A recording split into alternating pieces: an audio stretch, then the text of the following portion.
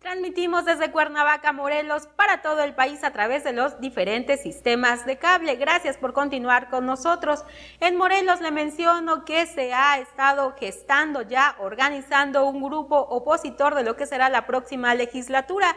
De esta manera se piensa conformar un grupo eh, pues fuerte que de esta forma pueda hacer pues un equilibrio en las fuerzas de poder dentro del propio legislativo. Sin embargo, el eh, diputado electo por el cuarto distrito, Alberto Mojica, ha advertido que este bloque pues no es para negociar ni para ir en contra de nadie en específico, sino para trabajar en favor de los morelenses. Aún no, eso me, gustaría dejarlo muy en claro, no es una de las temas de este grupo. No hemos platicado nada acerca de comisiones, ni de aparatos, ni de espacios dentro del Congreso local. Tampoco hemos hablado acerca de un juicio político, no lo hemos hecho, no es lo que motiva a este grupo de legisladores y eso quiero dejarlo muy en claro. La motivación de ese grupo de legisladores es eh, juntar los votos necesarios para sacar adelante las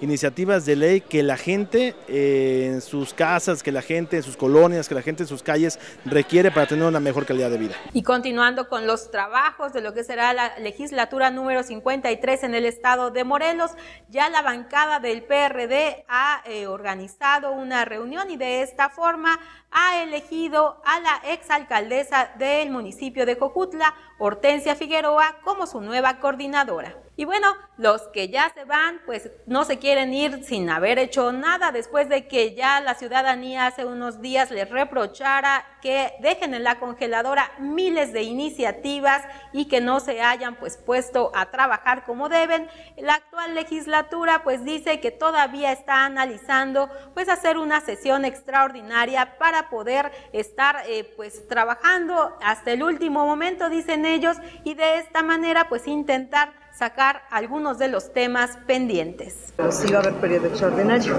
¿Ya empezaron a ver si pudiera ser hasta No, ayer, ayer la Junta Política sesionó, yo no estuve ayer en la Junta Política, y ya tomaron la determinación de transitar con algunas convocatorias, entonces estaremos esperando los tiempos que se agoten los plazos que marcan las convocatorias para posteriormente convocar. Evidentemente tendrá que ser en este mes, ¿qué día no lo sabemos? No, no, definitivamente no. Finalmente ayer ya la, la Junta Política, que es la encargada precisamente de revisar estos temas, ya trazó una ruta crítica. Con los tiempos este, aprobaron convocatorias y demás. Estaremos esperando que la Junta agote el proceso y que la Junta Política termine con sus tiempos para que nos puedan comunicar a más tardar en 10 días cuándo se iría.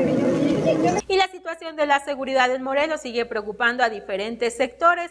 Ya se habían pronunciado los abogados, bueno, los médicos también en su momento tuvieron un pronunciamiento, pero ellos se comprometieron a trabajar de la mano con las autoridades del gobierno estatal para de esta manera conjuntar esfuerzos y brindar mejores condiciones a sus agremiados.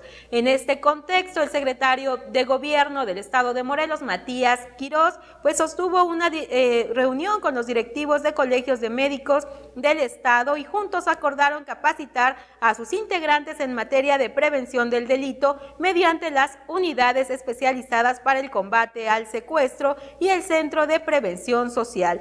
Para dar continuidad a las reuniones de trabajo entre el gobierno del Estado y agrupaciones de médicos, el encargado de la política interna indicó que el propósito es dar a conocer los protocolos de seguridad y acción de los organismos de seguridad mencionados.